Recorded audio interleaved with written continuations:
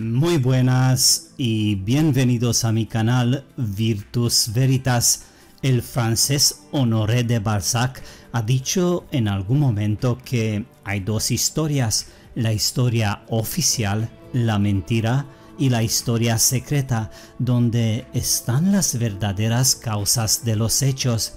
La descendencia del hombre parece que está envuelta en un misterio y que es una sucesión ininterrumpida de eslabones perdidos. ¿Venimos de muy lejos? Sí, y te aseguro que no hemos salido ni de la jungla, ni de las cuevas, y ni del cielo. Fuimos creados, modificados, criados, lavados, vestidos y reseteados varias veces por seres benévolos, entre comillas, superiormente desarrollados que dominaban una tecnología muy avanzada, alguna que aún no tenemos, pero que está llegando poco a poco, ¿no? Muy de acuerdo entre sí cientos de tradiciones antiguas nos enseñaron que hemos sido creados. Bueno, si nuestra especie es tan antigua como se piensa hoy, la creación del hombre ocurrió hace tanto tiempo que podemos dudar de que su recuerdo exacto haya sido transmitido en un estado puro. Entonces, Todas estas tradiciones antiguas deben evocar un evento mucho más reciente, ¿no? En este caso, el Adán no fue el primer ser humano, sino el primero de nuestra especie. Su creación fue solo una recreación. La palabra correcta es procreación o mejor dicho, procreación científica si amigos somos organismos genéticamente modificados y las historias mitológicas no dejan lugar a dudas sobre este tema. El hombre moderno ha sido moldeado no hace mucho tiempo por una civilización mucho más avanzada que la nuestra hoy en día que ha dejado todas las pruebas y sus testimonios grabados en la piedra para toda la posteridad para aquellos que tienen ojos para ver la evidencia de la existencia de esta civilización está en todas partes. Solo tienes que abrir los ojos y mirar atentamente las pruebas intencionalmente grabadas en piedra como testimonio de aquel tiempo. Lógicamente me puedes preguntar, ¿en qué te basas Virtus Veritas? ¿Dónde están las huellas? En realidad, tienes pruebas que reflejen este pasado tecnológico y que somos procreación científica u organismos genéticamente modificados? Bueno, unas preguntas que las escucho muy a menudo y a veces para mantener la calma estoy respondiendo con el dicho la ausencia de evidencia no es evidencia de ausencia. No quiero convencer a nadie, sino solo sembrar algunas dudas frente a tantas mentiras que te dijeron hasta ahora.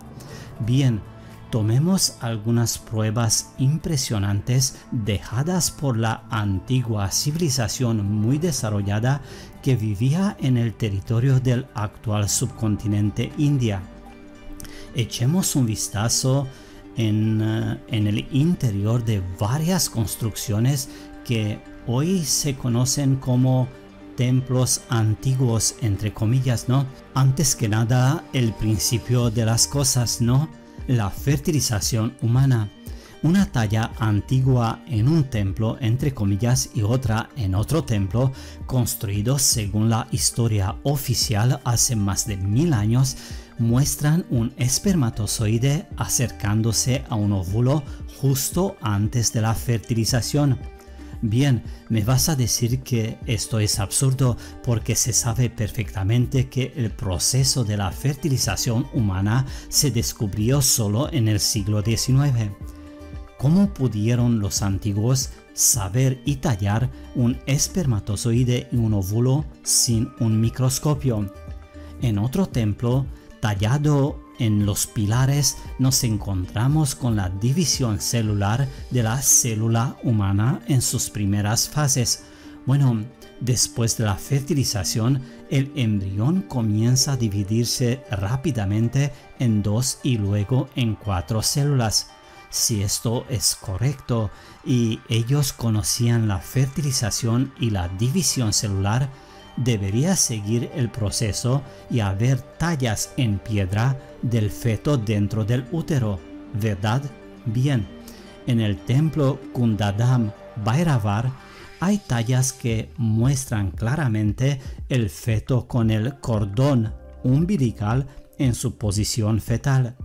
En otro templo, entre comillas, situado en el pueblo de Sirukarumbur, hay otra representación de otro feto en el útero que tiene muy bien representado en la parte superior el orificio para alimentar el feto y en la parte inferior la salida. Al principio, esta talla estaba situada en la cámara principal del templo, entre comillas, que se llama Garbhagriha en sánscrito y Karuvarai en tamil.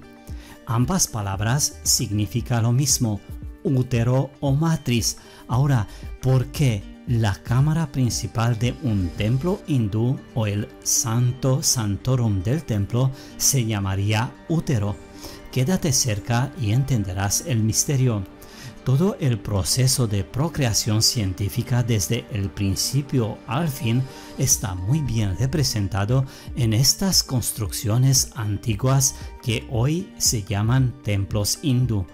Hoy en día los médicos hacen una ecografía para comprobar si la mujer está embarazada o para ver el estado y el desarrollo del feto colocando un dispositivo encima de la vientre de la paciente.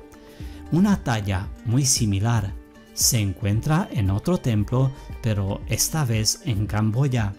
Un médico haciendo la misma ecografía utilizando un dispositivo muy similar. Según la historia oficial, esta talla tiene más de 900 años. Bueno, en la última década se ha creado un dispositivo revolucionario, entre comillas, para detectar el cáncer de seno. Sorprendentemente, el mismo proceso lo encontramos tallado en otro templo hindú. Una mujer sostiene un dispositivo en forma de cono presionándolo contra el pecho muy preocupada y con lágrimas en la cara. ¿Podría ser el mismo dispositivo portátil contra el cáncer de seno? Lo creas o no, pero en otro templo, entre comillas, situado en Sri Rangam, encontramos otra talla muy extraña. Una mujer levantando su pierna y un hombre que está implantando algo en el útero. Creo que quieres saber qué representa y cuál es el significado de esta talla. La respuesta se encuentra en el antiguo texto del Mahabharata que explica el caso curioso del hermano de Krishna. Después de la fertilización se extrajo un embrión de la madre de Krishna y se implantó en el útero de una madre sustituta o lo que llamamos hoy subrogación gestacional, procedimiento que hasta el siglo pasado, según la versión oficial, sería imposible y considerado algún tipo de magia, ¿no? El nacimiento de Krishna no fue normal. Su madre no dio a luz de forma natural, sino que tuvieron que hacerle una cesárea. El texto antiguo describe este procedimiento quirúrgico como Shalya Prayoga. También en los textos antiguos hay muchos ejemplos de bebés probeta o fertilización in vitro. Por ejemplo, el popular santo Agastia fue un bebé probeta fertilizado y cultivado completamente en un recipiente llamado kumph o kumpham y no es una interpretación moderna. Hay tallas antiguas en piedra que refuerza el hecho y los escritos antiguos que son tan precisos que incluso hablan de los problemas que surgen debido a estos métodos artificiales. Por este motivo y debido a este sistema de tubos de ensayo, Agastia era muy bajo y también por este motivo nacieron muchos gemelos mellizos trillizos y cuatrillizos que fueron creados con estos métodos artificiales. Incluso fueron mucho más avanzados de lo que oficial se puede hacer hoy en día. Por ejemplo, Hoy fertilizamos el óvulo en un tubo de ensayo y luego lo implantamos en el útero. Bien, según el texto del Mahabharata, había un útero artificial completamente funcional, una estructura sofisticada llamada Kruta Kumpf, que podía contener el bebé hasta su nacimiento, es decir, contenedores provistos de nutrientes que sustentan la vida. También se menciona que estos contenedores recibieron nutrientes y las células se desarrollaron y crecieron hasta convertirse en bebé completamente desarrollados. Bueno, estas extrañas tallas que representan la Kruta Kumpf están talladas en la parte más profunda y oscura de los templos entre comillas y representan un dispositivo muy complejo y sofisticado. Bien, todo fue y parecía increíble hasta que el doctor Emanuel Greenberg en 1955 ha patentado, probado y testado úteros artificiales completamente funcionales. El tema es inmenso y muy profundo y la verdad está allí tallada en piedra. Yo no quiero convencer a nadie, solo quería sembrar, como te he dicho al principio, algunas dudas frente a la inmensa cantidad de mentiras que te han dicho hasta ahora las mitologías, los frescos, las esculturas y la arquitectura antigua son solo unos pocos de los muchos verdaderos testimonios que hablan en silencio. Pero los escépticos miran hacia otra parte, quieren otras cosas, necesitan huellas más reales, ¿no? Me temo que los reclamarán en vano. La civilización es solo un barniz que no soporta condiciones extremas como hambrunas, guerras, cataclismos y epidemias y por eso varias veces hemos tenido que empezar desde el principio. ¿Por qué la gente se niega a mirar un poco más profundo? ¿Podría ser solo cuestión de tiempo y espacio? ¿Y si el tiempo y el espacio es una ilusión? ¿Será todo esto un juego para alguien más poderosos que nosotros que se deleitan en nuestras desgracias virtuales? ¿Seríamos peones animados sobre una alfombra de juego con colores de la tierra? La conclusión, como siempre, te pertenece. Un gran abrazo y mucha salud hasta pronto.